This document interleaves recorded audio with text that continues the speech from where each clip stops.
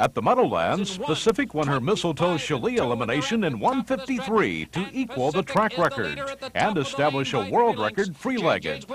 A week later, she defeated Time Well Spent in the $468,000 final in 153 and 4.